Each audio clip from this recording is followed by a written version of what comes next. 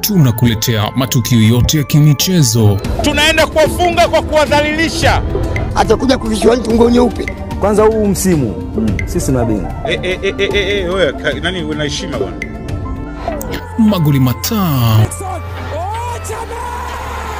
Yote haya ni hapa hapa Atha TV. Subscribe na bonyeza alama ya kengele. Nikukumbushe tu kwamba tumepata tumetoka kupata pigo kama taifa, Taifa Stars wakipokea kichapo cha bao moja kutoka kwa Benin kwenye mechi ya kufuzu kwenda kombe la dunia 2022 mwaka 2022 kule Qatar, na taarifa tu ikufikie, DR Congo wamepata ushindi wa mabao mawili kwa sifuri dhidi ya Madagascar. Kwa hiyo ngoma inogile, ngoma inogile. Eh, Kongo na pointi ngapi? Uh, sare mbili na hii tatu tano. Tano. madagaska ana sa- ah, Benin ana saba Benini ana saba Stars nne. ah, hii grupu hatari. madagaska hana kitu Eneo kama hawajacheza vizuri. Madagaskar um, anaenda kucheza na Congo sawa. Sina ameshinda leo goli mbili Ah, si ana, wanaenda kumalizana mechi inayofuata, hey. alafu anakuja Tanzania. Ah, tushacheza naye sisi tunakwenda, asi tuna back to back mechi za ugenini alafu tunakuja kumalizia hapa na na Congo. Kwa Madagaskar anacheza na Tanzania na alafu anasafiri kwenda Benin. Mm. Kama atashinda zote atafikisha tisa. Nataka niangalie katoka au bado? Kama atashinda Bado hajatoka. Kama- hey, hey, hey, uh, kama kama atashinda zote atakuwa na point tisa. Tisa. Yes. Kwa hiyo ki- mathematical hajatoka bado, Yaani hakuna mpaka saizi aliyetoka. na hakuna alienda vile. ila Madagascar akipoteza mechi inayofuata Eh, hiyo itakuwa automatically point sita ambazo tayari ah, bado atakuwa bado naye Ah, hajatoka. bado atakuwa tayari ameenda, atakuwa tayari ameenda, kwa sababu Benin ana saba, Tanzania na nne. Tunamsema Madagascar Eh. akifungwa mechi inayofuata. sanafungwa anafungwa na Kongo. Kongo atakuwa na nane. Ah, okay. Eh, atakuwa tayari safari ime, imewadia. Anyway, Umeanza kunikumbusha right angles, line angles, psycho angles. Tumefikia hatua ya tukiwaki. eh, yani tukiwaki- tukiwafunga wakitufunga. wakitufunga. Hebu turudi sasa kwenye mechi ya leo Mwamnyanyi. Uh, baada ya kutoka sabu ambayo ilifanywa na mwalimu Kim Poulsen ya, ya kumtoa uh, ndani ya mechi mchezaji Novatus Dismas na kuingia kwa Kibu Dennis, hii sabu ilikuwa ina advantage na disadvantage. Yes. Kipi kilikuwa kikubwa, faida sana tumepata au hasara? E, tumepata naweza kusema ni ni hamsini kwa amini I mean, ni arobaini kwa sitini Mm.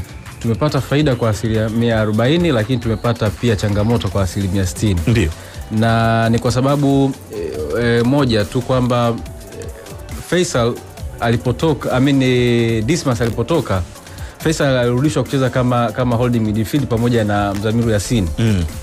sasa kama ulikuwa unaangalia mwanzoni walikuwa wanacheza kwenye triangle shape kwa maana ya Mzamiru Dismas pamoja na Faisal. Mm. Faisal alikuwa anacheza juu na tayari Faisal alikuwa ametumia energy nyingi sana uh, para, uh, pamoja na Mzamiru kwa sababu ukiangalia kwa mfano walikuwa wanacheza Dismas mm. pamoja walikuwa wanacheza kama double pivot pale nyuma na, na, na Mzamiru ila yeye alikuwa anacheza kama standing pivot yani hasogei sana Okay. anacheza akiwa kama kasimama peke yake hivi mm. kwa hiyo Mzamiru ndo akawa anafanya linking kwake yeye pamoja na, na, na, na Faisal mm. kwa hiyo kitendo cha kumwondoa mtu ambaye alikuwa amesimama kwa ajili ya kama vi, una, unajua unapo, unapokuwa na holding uh, midfielder hapo amesimama maanake unamfananisha kama vile rada mm. anacheza kama ana, unampa majukumu kama ambavyo anaweza kuwa nayo center half mm. au anaweza kuwa nayo goalkeeper kwamba ana uwezo aka, akaona njia za mchezo zinavyokwenda mm. kwa hiyo baada ya kumwondoa akamshusha Faisal chini Faisal ambaye tayari amekusha kimbia zaidi kwenye eneo la juu kwa hiyo tayari tenki la Faisal likuwa limefanyaje limekusha drop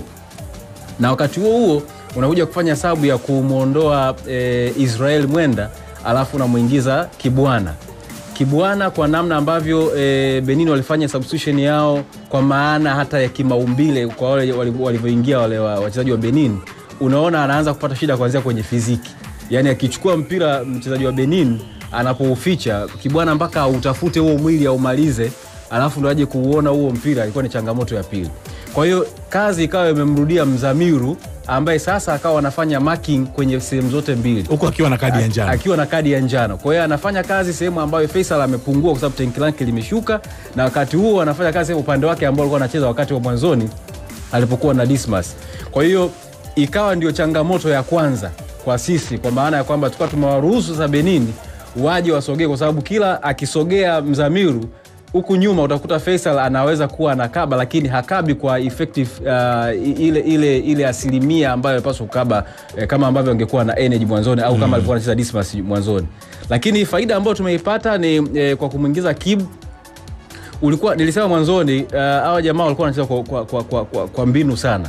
Mwanzoni tuliona kuwa anacheza na mfumo ule wa 3511 wakiwa wanafanya marking wanafanya na walikuwa wanacheza na, na 4231 lakini kipindi hiki cha mwishoni kama ulivyoona al- walivyomwingiza alivyoingia Kibu Dennis kulikuwa kuna ongezeko. Maanake tulikuwa tuna Kibu Dennis tulikuwa tuna Samata alafu tukawa na Msuva. Sasa wao walichokuwa wanafanya wanacheza na, na, na mabeki wanne kama tukiwa tuna mpira kwenye eneo la holding midfield. Lakini tunaposogea juu kidogo tu wanamvunja holding midfielder katika midfielders wao wawili anavunjwa mmoja anakuja kuongeza kwenye line ya center backs. Kwa hiyo wanakuwa na watu watano kiasi ambacho e, sisi tukiwa na, na, na washambuliaji watatu maana yake watacheza na watu watatu wa kwetu na watakuwa na watu wa pili wa kuokota hiyo mipira. Kwa hiyo ikawa inashindikana hata kupiga penetration pass. Kwanza kwa sababu Faisal ameshashushwa chini hakuna playmaker ambaye alikuwa anaweza kupiga pasi kama alikuwa anapiga nanili Faisal mm. lakini wakagundua kwamba Kibu ni threat kwa maana ya kwamba ana uwezo kufanya migongano na ana nguvu na ana nguvu. Kwa hiyo walipoongezeka watu watano kwenye eneo la nyuma, maanake kila mtu akawa anafanya man marking, kila mtu anakaa na mtu wake. Hii mipira inayoanguka hapa miwili, wanakuwa ni sehemu ya kuanzisha mashambulizi na kuondoka, na ndio maana unaona mwalimu Kim Paulson baadaye akaja kumwingiza uh, Sop ili mipira ambayo inaanguka pale aweze angalau kuwa ana, anapiga mm na ndio sababu tunaona hata mpira mmoja umegonga ile crossbar. Lakini ni kwa nini? Kwa sababu tayari mwalimu wa, wa, wa, wa Benin ameonekana kuwa ni mzuri zaidi kwenye mbinu, kwenye namna ambavyo anaweza kupanga na kuorganize wachezaji wake. Lakini kingine tumeona ubora wa wachezaji wa Benin. Unajua kuna wakati e, waga anasema e, kwa mfano sisi ukiwa ni mtu mzima unamwona mtoto anahangaika kujipikilisha unaweza ukawa unamwona unajua hapa atachukua mchanga atafanya hiki atafanya mwisho wa siku. Ikifika jioni atatakiwa kwenda akaoge afanyaje? Ya, alale.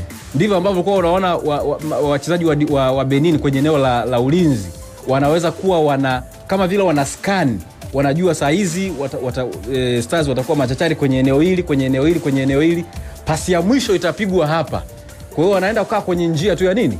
Ya mpira mm. ama mpira umetoka ama umewaachia wanaanza nini? Safari okay. kwa hiyo ni maturity ya wachezaji wa benin pia imeonekana kulinganisha ukilinganisha na, na, na wachezaji wetu. Sawa tumepata nafasi za wazi uh, watanzania wamesikia wengine wametazama kupitia azam tv na bila shaka nafasi ya simon pigodi msuva john rafael boko zitaishi kwenye vichwa vyetu sana katika mchezo huu wa leo. Lakini mwisho wa siku ndo hivyo tena tumepoteza mchezo kwa bao moja goli zuri. Uh, moja kati ya mabao mazuri kabisa ambayo tumefungwa acha tu tuseme uh, ni kevu ambayo iliwekwa kwelikweli ile huyu mchezaji ameshacheza Huddersfield kama sikosei eh? Eh, ala eh, amecheza Huddersfield eh, tena wakati huo Huddersfield ilikuwa ilikuwa na nili ikiwa Premier League. Premier League. Kwa hiyo unaweza kaelewa hata angalia alipokuwa analifunga lile goli mm. alinyanyua macho mara moja kuitafuta far post alafu akayashusha akatengeneza njia ya mpira akapress mm. akaukevu ule mpira kwa unaweza ukaona sio sio sio wachezaji wa daraja la kawaida sana kama ambavyo wengine wanaweza ukawa nawachukulia sawa. Mzinga tathmini yako ya kipindi cha pili benini uliwachambua vizuri kipindi cha kwanza. Walistahili kushinda mchezo huu au ni bahati mbaya tu kama tunavyosema na mwalimu wao alibadilisha approach ya kiasi gani kwenye kipindi cha pili? Kitu gani ambacho kibadilika tactical Ah, kimsingi kwanza kwenye swala la kushinda mchezo ulikuwa na nafasi hamsini kwa hamsini kwa kila upande. Tanzania uh, angeweza kushinda endapo nafasi zao ambazo walizitengeneza wangezitumia vizuri. Kuna makosa ambayo yalifanyika uwanjani uh, kwa, kwa walinzi wa Benin na Tanzania wakapata kwa maana ya nafasi za wazi ambazo wangeweza kuzitumia na tungezungumza maneno mengine hapa. Uh, kwa ujumla wake kwenye utengenezaji wa nafasi Stars wametengeneza nafasi nyingi za wazi kuliko walivyotengeneza Benin. Uh, lakini Benin wameonekana kuwa na, na, na, na nidhamu ya mchezo, wameonekana kuwa na mkakati wa mchezo. Nimependa mwalimu wao namna ambavyo aliingia kipindi cha kwanza kwenye dakika 15 za awal alitaka kupres kwa nguvu apate bao la mapema kwa ajili ya kuondoa mchezoni ya Tanzania, na kwa namna ambavyo alikuwa anaonekana, hata kama kwenye zile dakika 15 za awali wangepata bao walikuwa wanataka kurudi nyuma kwa ajili ya kuhakikisha wanalinda uh, waondoke na ushindi wao. Ikiwezekana basi kama tanzania watapata bao wapate walau